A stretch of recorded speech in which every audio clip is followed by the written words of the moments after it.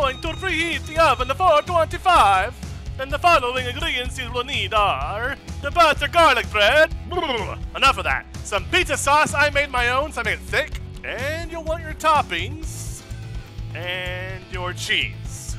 And that's mozzarella, in case you were curious. Make sure that garlic spread is evenly spread, then stick in the oven about 10 minutes. Then remove and prepare to sauce and top. Saucy sauce first, don't be scared. Get it all over that. And what's next? You guessed it, the cheese.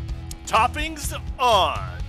To hold all together, I then like to sprinkle a bit of cheese on the top. Making it look pretty with an Italian sprinkle on top is optional. Into the oven, about 12 minutes or until desired doneness.